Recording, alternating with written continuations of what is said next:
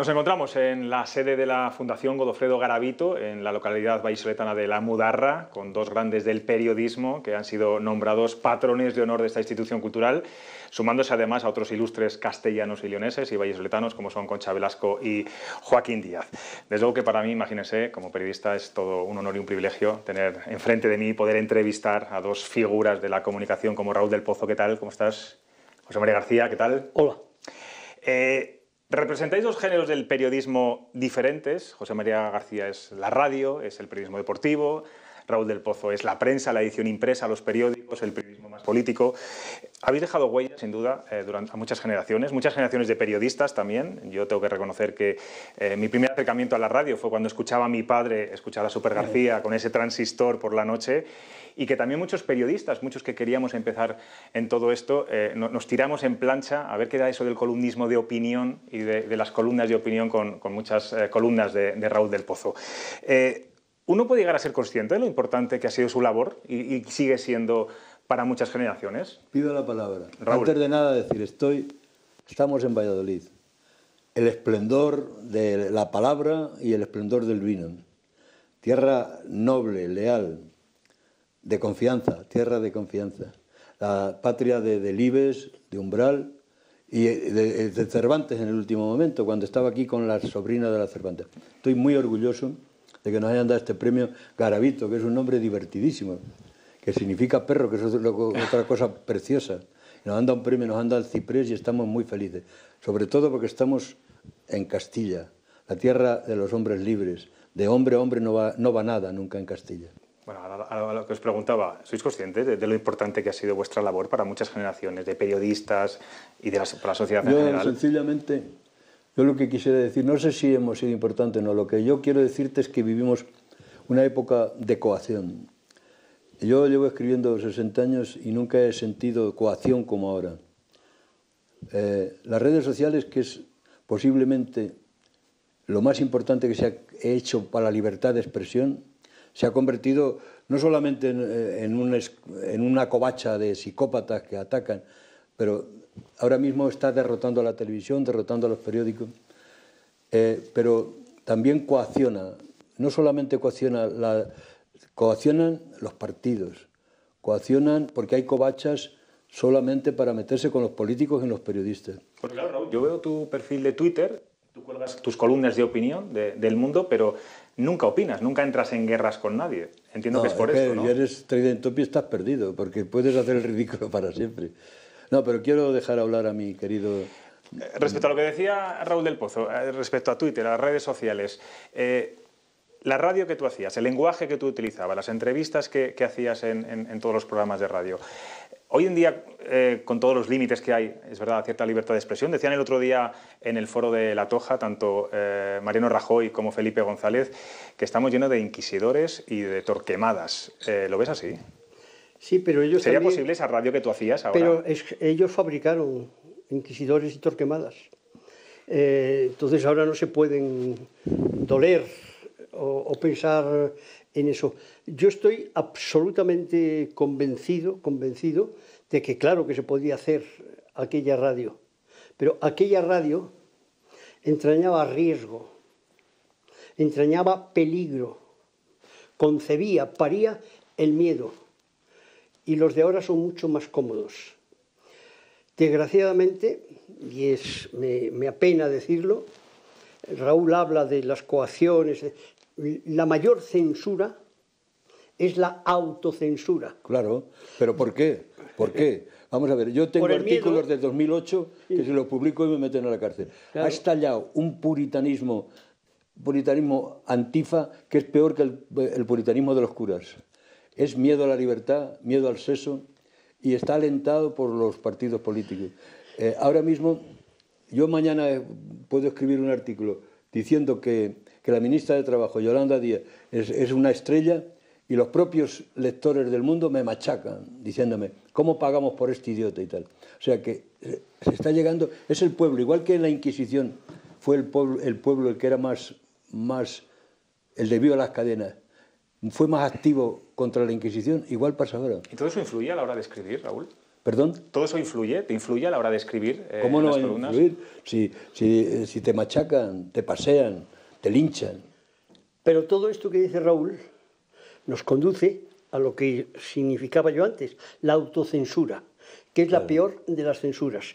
Y todo eso conlleva que esté desapareciendo, fíjate que es grave lo que voy a decir, el periodismo. El periodismo, como, se ent- como debe de ser el periodismo, el periodismo libre, el periodismo independiente, el periodismo plural, el periodismo sin camilleros, ¿Tú crees que era más crítico con el poder hace años el periodismo que ahora? Muchísimo, muchísimo más crítico, pero sobre todo muchísimo más sincero. Hoy el periodista deja de ser periodista para convent- convertirse en lametraserillos.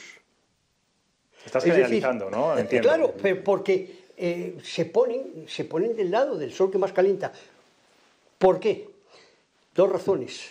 Una, por ese capítulo de coacciones, de miedos. Cualquier tipo recluta 300.000 tíos y, que, y te acaban contigo en las redes. Como 300.000. Bueno, un robot, que es más en- barato. En, en las redes sociales. Eh, pero, pero el robot representa a 300.000 o a 100.000. Es exactamente lo mismo. No por, quiero crear un debate ahora entre, No, entre no. tú y yo, José María. ¿Cómo pero, que no? Que, eh, debate. no, porque no, no es mi labor, no es mi labor. Yo quiero preguntar y quiero escucharos que muchos periodistas, eh, jóvenes periodistas, que quieren hacer bien su trabajo y que lo llegan a hacer bien su trabajo, que estamos hablando de periódicos locales, estamos hablando de televisiones autonómicas, televisiones locales, no de a lo mejor de grandes medios, pero también, que decir, yo creo que la, la función del periodista hasta el final intenta eso, contar la verdad. Pero no les dejan. Eh, es decir, no les dejan. Están capados, están constreñidos. Eh, eh, ¿Por qué? Yo, mira, el otro día hablaba con un compañero que se ha significado muchísimo por el periodismo de denuncia, por esos reportajes bravos, valientes, donde se ha jugado la cabeza de investigación, y le digo, ¿por qué no has hecho, por qué no sigues haciendo esto? ¿Qué ha pasado? Y dice, te cuento. He hecho un reportaje donde me he jugado el bigote. He tardado 20 días. Cuando le paso a factura a mi periódico, me niegan los taxis. Me niegan, por ejemplo, fíjate que he, llegado, he tenido que alquilar un burro, un burro, y le he tenido que dar una propina al este, 50 euros. Al burro. Y al, y al administrador le, le decía que no. Y cuando me van a pagar, me pagan 150 Raúl, ¿tú euros. cómo, cómo lo ves? ¿Cómo lo ves eh, todo Es ese el asunto? primero y el último. Tú además que estás metido en activo en los medios de comunicación. No, yo, yo veo mucha coacción, que vivimos el final de un periodismo. Ahora mismo las redes están matando a la televisión, a los periódicos. Y, eh, es, el- el- es la síntesis de todo lo que se publica. Lo puedes leer a las 8 en 10 minutos y es muy poderoso. Y los periódicos, el- el- la oruga no se transforma en mariposa. Es decir, el ¿Y el papel... columnismo, el columnismo puede ser... El digamos, columnismo eh, es casi lo que parte está- de la, la salvación de- del Sí, en papel. parte sí, porque es el periodismo de opinión. El reporterismo eh, ya se ha acabado porque es muy caro y los periódicos están en la ruina y eh, el- la opinión es más barata. Por eso hay tanta opinión. Pero eh, fíjate una cosa, José, eh, que es eh, clarísimo. A esto que yo decía, que es la crisis del periodismo, obedece también que hoy no tenemos directores, no tienen conocimiento, no tienen capacidad, no tienen valentía. Y entonces el desconocimiento a otros niveles. ¿Cómo es posible que un periódico hoy, periódico de papel, pelee por la actualidad cuando está pasada. Entonces, ¿qué te tienes que, amparar? La opinión. La opinión que es propia. Por eso no se acabarán nunca los, los, eh, Bueno, y está, está la web también de los, periódicos que te los permite... Pero es un problema eh, difícil. No seamos pesimistas. Vivimos Eso- eso, un, mom- sí, porque estamos un siendo momento demasiado- esplendoroso de la libertad de expresión a pesar de todo. Ahora, un, eh, uno que echan de un periódico puede hacer el New York Times en su casa. Quiero decir, por, a- por hacer una butada. Bueno, yo creo que sigue habiendo grandes Bueno, directores cada también. día se hacen tres periódicos, quiero decir, nacen mil flores cada día. Eso es lo bueno que tiene. El Internet mm, está superando en prodigio a lo que fue la imprenta. Eh, eso es el, la- el lado bueno. El lado malo es porque los periódicos no han sabido. eh, el papel está muriendo y la publicidad en Internet es muy gris. Solo hacen ricos a los de Silicon Valley. De las cinco multinacionales más poderosas del mundo son las de, las que, las de Internet pero para, para, los periódicos son, han sido negativas. Pero al hilo de lo que tú decías, naturalmente que hay grandes periódicos, pero la excepción eh, confirma eh, la regla. Hay grandes directores, pero si antes había 30, ahora hay 5. Estáis aquí sentados, eh, aparte de que habéis recibido este, bueno, esta condecoración, este premio, eh, ser patronos de honor de la Fundación Godofredo Garavito, sois amigos desde hace muchísimos años, desde los años, bueno, eh, en Pueblo, ¿no? Coincidís en, el periódico Pueblo. ¿Es fácil eh, mantener la amistad cuando, en el mundo de, la comunicación, cuando precisamente lo que hablamos, hay mucha competitividad, hay mucho ego también? Mucho. Habéis trabajado, me imagino, que en empresas que han sido totalmente competencia.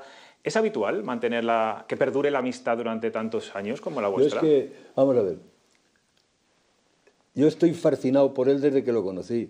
Creo que es uno de los españoles más importantes del siglo XX. O sea, ahora mismo está 20 años sin salir en televisión y le piden autógrafo a los chicos de, no sé por qué.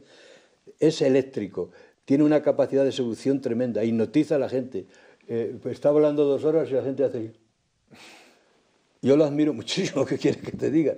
Y es, eh, yo le dije una vez con mala leche que, con 90 palabras se había hecho el más rico de la historia del periodismo. Y él dijo que no, que 90 palabras no, que algunas más. No, pero eh, cuando tú conoces a una persona, eh, tú conoces a Raúl, lo conoces y lo admiras.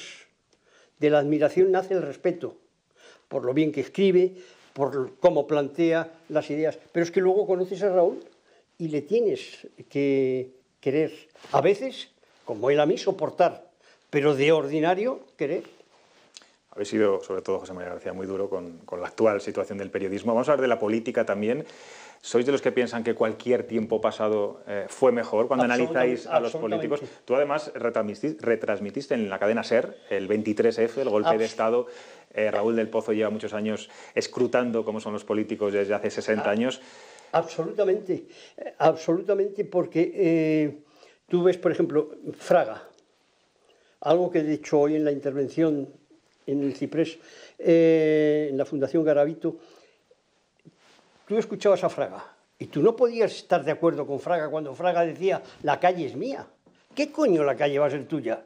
La calle es nuestra, que te pagamos a, ti. O cuando una voluntad de Alfonso Guerra. Pero, en el fondo, eran dos tipos preparados, dos tipos cultos, uno de ellos valiente, que admirabas, que valorabas y que respetabas. Hoy, ¿cómo vas a respetar a estos chiquilicuatres? Si se pegan como verduleras en el, Congreso, si se insultan eh, como, como, gente absolutamente tirada, y luego vas a ver eh, conocimientos, y luego además, de, de, golpe y porrazo, llegan a, la gloria por cualquier mm, banalidad, por cualquier gilipollez. Fíjate, ahora tenemos una nueva eh, heroína política Ayuso. Si los que nos están viendo o los que la votan conociesen quién es esta señora. El último trabajo de Ayuso es llevar la cuenta de Twitter del perro de su protectora. El perro se llamaba Pecos, me parece. Ella llevaba Esperanza Aguirre. Ayuso llevaba esa cuenta. De ahí pasa a la comunidad, preside la comunidad. Y resulta que se ha dado cuenta, esa es una habilidad suya, la pandemia, el mundo de la hostelería, bares y demás, arruinados, y hace gestiones que la encumbran. Tú hablas 15 minutos con Ayuso y dices, pero coño, si no hay una cosa mejor en este país, vamos a cerrar la tienda. Vamos a ver, yo no soy tan... Es verdad que el 90% de los ciudadanos españoles eh, detestan a los políticos, pero después vamos a los periodistas. Exacto. Entonces, la pandemia ha sido nefasta para todo, para la economía, ha restringido las libertades, ha jodido las democracias. Y ahora mismo la situación es muy abierta, muy abierta, muy abierta. Puede pasar cualquier cosa, porque eh, se vuelve a la identidad, se vuelve al sentimentalismo, se vuelve a la sinrazón, y, y, lo de Viva Cuenca y Teruel existe va a ser lo que va a avanzar muchísimo. La política identitaria, el sentimentalismo, los partidos políticos están muy rechazados, pero sin partidos políticos y sin políticos no hay democracia, o sea que tendremos que lo que, lo que venga, si no es eso, es peor todavía. Pero tenemos que darnos cuenta de una cosa. Eh, te estás hablando con dos personas que quieren, que sueñan, que adoran, que abrazan a España y que mm, tanto él como yo, y le conozco muy bien, no podríamos vivir eh, eh, fuera de, de España. Yo he nacido en Madrid por accidente y Madrid me lo ha dado todo, pero me considero asturiano porque he conocido aquellas ferias de pueblo donde dos paisanos con unas manos como armarios de, de, de labrar, de trabajar, de, eh, estar rodeados de cuito, eh, estaban vendiendo un novillo, había una diferencia de 25 pesetas, estaban media hora cuando eh, ya llegaban a un acuerdo, ¡cago Dios! La mano, daban la mano y venía después otro y le ofrecía 500, 500 pesetas más. Y ya no había... Y dice, mi palabra eso, eso eh, se ha perdido, eh, eh, no, hay, no hay un orden moral. Lo que me preocupa es que estamos conduciendo a nuestros hijos, ya más que los hijos, los nietos, a un, a un país que carece de esos valores. Decía antes Raúl, y es, es oficial, no es eh, una pera mental de él. Las dos profesiones más denostadas hoy en España son los políticos y los periodistas. ¿Pero por qué? Porque España, utilizando terminología deportiva, es una, un equipo de tercera división o de regional. Para que un país sea grande, grande, tiene que tener unos políticos brillantes, una justicia independiente y una información plural. Y amor libre. Y libre. Hablabas antes que eras asturiano, que te gustaba mucho el mundo rural, tú también hacías referencia a esos partidos provincialistas que pueden tener mucho auge ahora.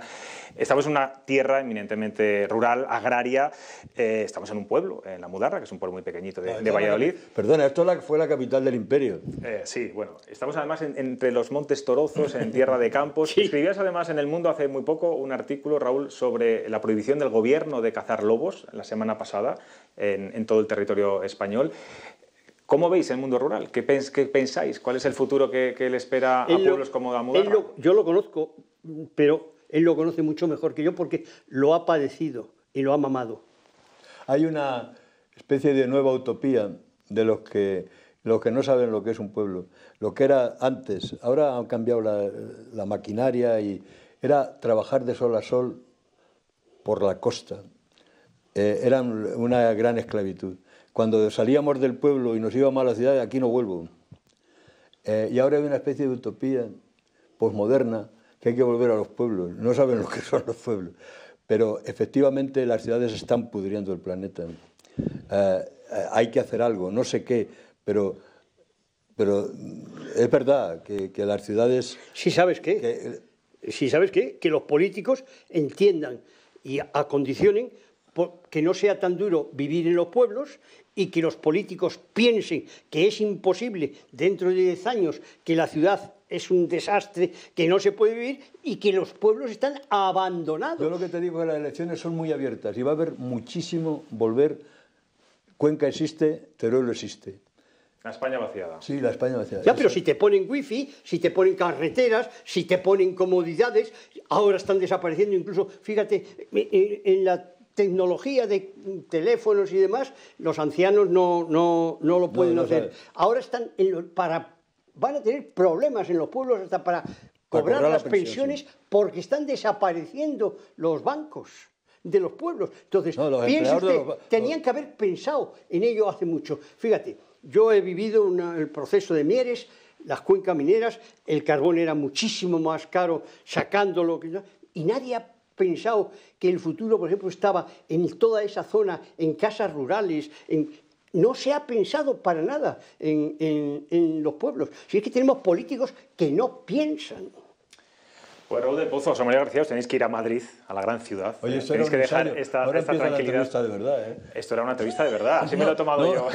si queréis empezamos de nuevo. gracias, gracias de verdad. Gracias por- a ti, que por- está encantador, de por verdad. estar Gracias en este a ti y lamento que no, que no estemos No, no, de acuerdo en alguna bueno, no cosa, pasa nada. pero esta es una entrevista eh, de, de verdad. Te agradezco eso y sobre todo agradezco este rincón de libertad. Y a los que no piensen como yo, decirles única y exclusivamente que la unanimidad es propia de tontos. Eso es. Gracias de verdad. ¿eh? Muchas gracias. Adiós. Este era un ensayo, ¿no?